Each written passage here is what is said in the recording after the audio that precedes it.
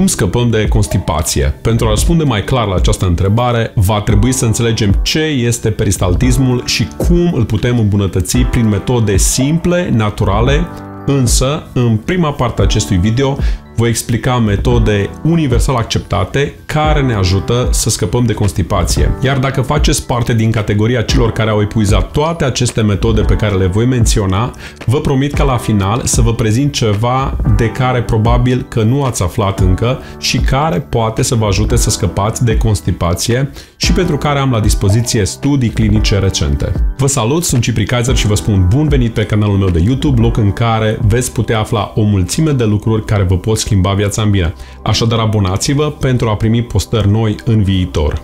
Persoanele care se confruntă cu constipația prezintă adesea riscuri de probleme ale vezicii biliare și ficatului, precum și intoxicație, deoarece rezidurile digestive nu pot fi eliminate în timp și rămân stagnante în intestin pentru mai multe ore sau chiar pentru mai multe zile. Haideți să vedem mai întâi metodele universal acceptate care ne pot ajuta să scăpăm de constipație. Este esențial să creșteți cantitatea de apă pe care o consumați, iar ideal ar fi să beți echivalentul la 5% din greutatea dumneavoastră în apă. La început, să beți o astfel de cantitate de apă poate părea imposibil dacă nu sunteți obișnuit cu aceasta, dar pe măsură ce creșteți cantitatea de apă consumată zilnic, veți simți nevoia să beți mai multă apă. Adaptarea la această schimbare poate dura până la o săptămână sau chiar două.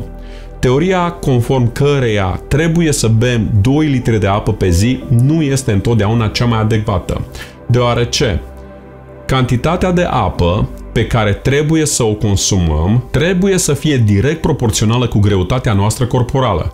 De exemplu, cine cântărește 40 de kilograme ar trebui să bea aproximativ 2 litri de apă pe zi, în timp ce o persoană care cântărește 80 de kilograme ar trebui să bea aproximativ 4 litri de apă pe zi. Se pot consuma și ceaiuri neîndulcite. Este bine știut faptul că lipsa hidratării adecvate poate să ducă la constipație.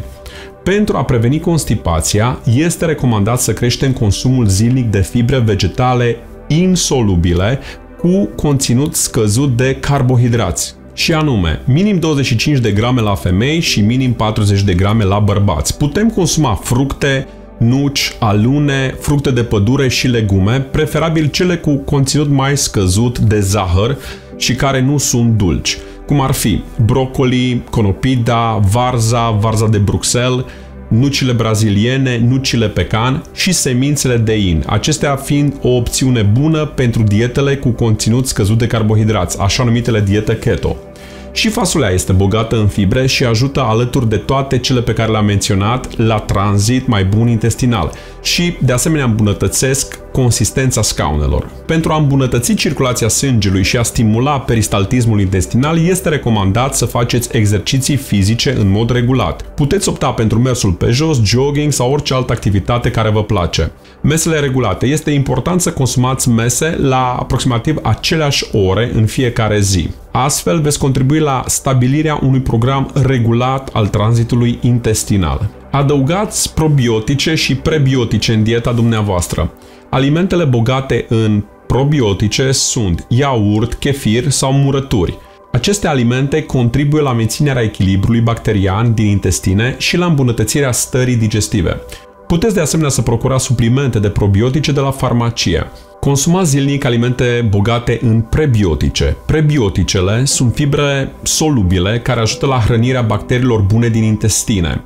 Aceste alimente ar fi ceapa, usturoiul, bananele, sau văzul, utilizați uleiuri și grăsimi sănătoase. Uleiurile și grăsimile sănătoase, cum ar fi untul, uleiul de măsline, uleiul de nucă de cocos și uleiul de pește, pot ajuta la lubrefierea tractului intestinal și la menținerea unui tranzit intestinal normal. Utilizați laxative naturale, unele plante și alimente, cum ar fi sena, aloe vera, prunele, semințele de in și tărâțele de ovăz, pot fi utilizate ca și laxative naturale. Este important să vorbiți cu medicul dumneavoastră înainte de a utiliza orice tip de laxativ. Reduce stresul. Stresul poate afecta digestia și poate duce la constipație. Încercați să reduceți nivelul de stres prin tehnici de relaxare, cum ar fi meditația sau exerciții de respirație. Încercați să consumați zilnic clasic alimente fermentate, cum ar fi varză murată, castraveți murați, kimchi, kombucha, chiflele fermentate care conțin bacterii bune care pot ajuta la menținerea unui tranzit intestinal normal. Mâncați alimente bogate în magneziu. Magneziu este un mineral esențial pentru sănătatea digestivă. Alimentele acestea ar putea fi nuci, semințe, frunze verzi și legume cu frunze. Se pot folosi suplimente de magneziu, cum ar fi magneziu malat, magneziu chelat sau magneziu taurat. Încercați să stați deoparte de magneziul oxide sau oxidul de magneziu. Evitați alimentele procesate. Alimentele procesate sunt adesea sărace în fibre, nutrienți și pot să ducă la constipație. Încercați să evitați alimentele procesate și să mâncați în schimbul lor alimente integrale și sănătoase. Evitați alcoolul și tutunul. Alcoolul și tutunul pot afecta sănătatea digestivă și pot duce la constipație. În general, schimbările în stilul de viață și alimentație pot ajuta la prevenirea și tratarea constipației. În cazul în care simptomele persistă, este important să consultați medicul dumneavoastră pentru a exclude orice afecțiune posibilă și pentru a primi un tratament adecvat. Un alt lucru care ar putea să ajute pe cei care suferă de constipație ar fi consumul de ulei de ricin. Uleiul de ricin este un laxativ natural puternic, se poate consuma o lingură de ulei de ricin amestecată cu suc sau apă pentru a stimula tranzitul intestinal. Este ideal să începeți cu o cantitate mai mică, de exemplu cu o linguriță de ulei de ricin. Masajul abdominal de asemenea poate ajuta la stimularea tranzitului intestinal. Încercați să faceți mișcări circulare ușoare pe zona abdominală în sensul acelor de ceasornic. Anumite ceaiuri și infuzii pot ajuta la ameliorarea constipației, cum ar fi ceaiul de mentă, ceaiul de chimbir, ceaiul de mușețel, ceaiul de lemn dulce. Este important să evitați consumul excesiv de ceaiuri cu cofeină, care pot duce la deshidratare și exacerbarea constipației. De asemenea, trebuie avut atenție să nu adăugăm zahăr în aceste ceaiuri, pentru că zahărul poate și el la rândul lui să ducă la constipație. Ridicarea picioarelor pe un scaun mic în timpul defecației poate ajuta la menținerea unghiului corect al colonului și la ușurarea procesului de defecație. Există anumite alimente care pot contribui la constipație, cum ar fi zahăr rafinat, carne roșie, lactatele și alimentele superprocesate. Încercați să limitați consumul acestora. Consumați fructe și legume proaspete. Fructele și legumele sunt bogate în fibre și apă, ambele fiind importante pentru menținerea unui tranzit intestinal normal.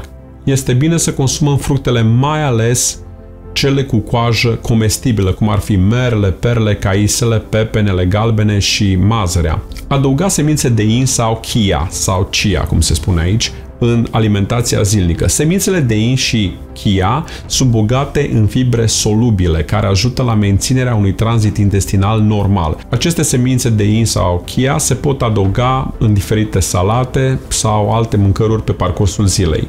Consumați psyllium husk și prune uscate. Prunele uscate sunt bogate în fibre și sorbitol, un compus natural care ajută la stimularea tranzitului intestinal. De asemenea, puteți să dați un like și un subscribe la canalul meu de YouTube pentru a primi și alte videouri în viitor în mod automat. Aștept să dați chiar acum un like și vă ia doar 3 secunde. Și acest lucru va ajuta ca acest video să ajungă la cât mai mulți. De asemenea, vă recomand să distribuiți acest video și la alte persoane și vă mulțumesc pentru acest lucru. Dacă deja ați încercat toate metodele pe care le-am prezentat în prima parte și nu ați avut succes în lupta cu constipația, vă sugerez să vizionați acest video până la sfârșit pentru că acum am să vă explic câteva aspecte importante legate de modul în care putem îmbunătăți contracția mușchiului neted intestinal, ceea ce va favoriza eliminarea scaunului. Intestinele conțin de 5 ori mai mulți nervi decât coloana. Nervul vag este cunoscut și sub numele de nerv vagal și nervul vagus, care are mai multe funcții vitale și este esențial pentru menținerea funcționării și sănătății organismului. Acesta este nervul principal al sistemului nervos parasimpatic și prin el creierul controlează digestia și odihna.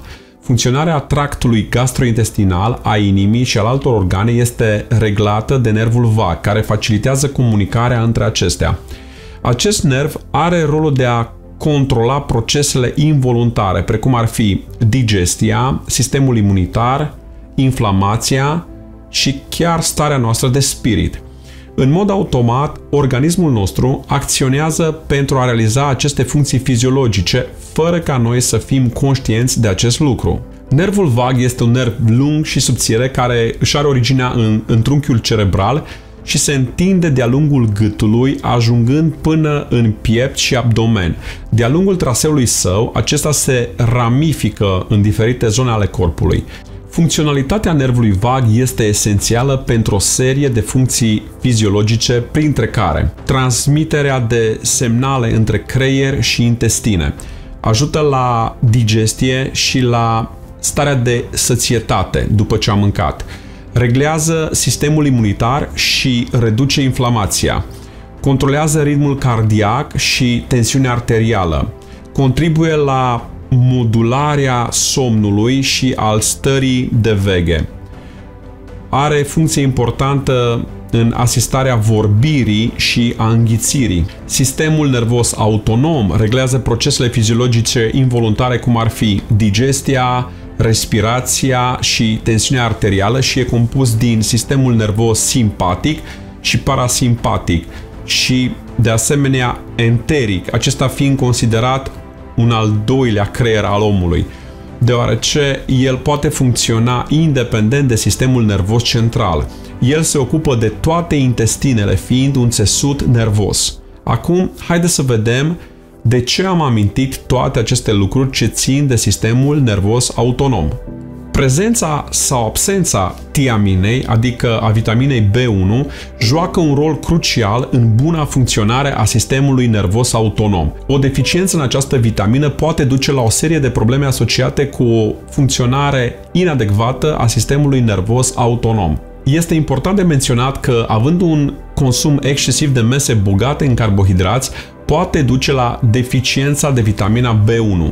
Vitamina B1 are o importanță crucială în buna funcționare a sistemului nervos care transmite impulsuri nervoase către diferite organe din întregul organism. Aceste impulsuri sunt responsabile de peristaltismul intestinal, adică de contracția și relaxarea mușchilor netezi a intestinului, care ajută la transportul unidirecțional al conținutului, cum ar fi mâncare, apă, urină sau scaun, prin organele tubulare, cum ar fi esofagul, tractul gastrointestinal și tractul urinar. Buna funcționare a peristaltismului este dependentă de prezența vitaminei B1, iar lipsa acestei vitamine poate duce la încetinirea sau chiar blocarea peristaltismului intestinal, ceea ce duce la stagnarea conținutului în intestin. Într-un alt episod anterior am menționat suplimentarea cu acidol-pepsină în cazul problemelor de reflux gastric. Acidol-pepsina este de fapt o combinație între acidul clorhidric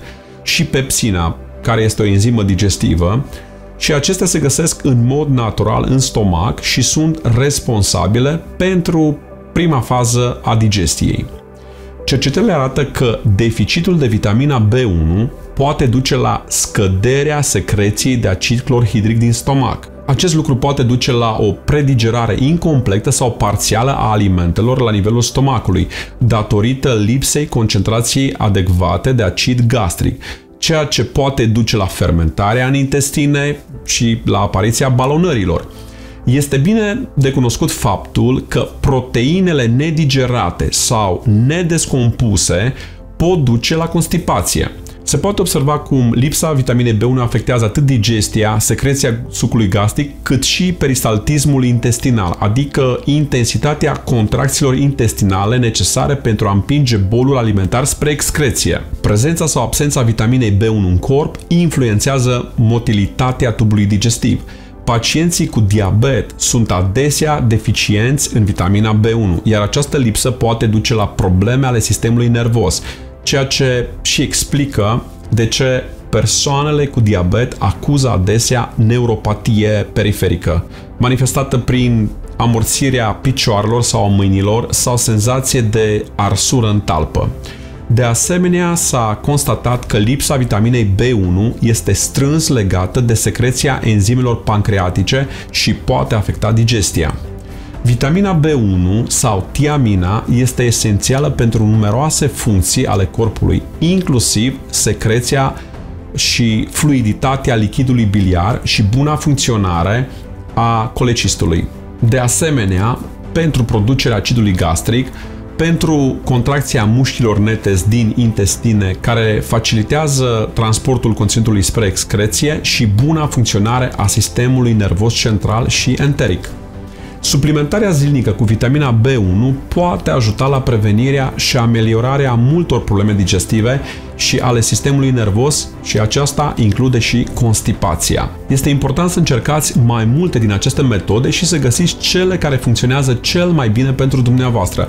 De asemenea, este important să vă asigurați că vorbiți cu medicul dumneavoastră înainte de a încerca orice tratament pentru constipație, mai ales dacă aveți simptome severe sau persistente. În descripția acestui video veți găsi linkuri cu suplimente pe care le-am menționat, care sunt utile pentru a vă scăpa de constipație și pe care eu nu le vând, ci le găsiți pe magazine, cum ar fi Amazon sau la magazinele dumneavoastră locale de suplimente și vitamine.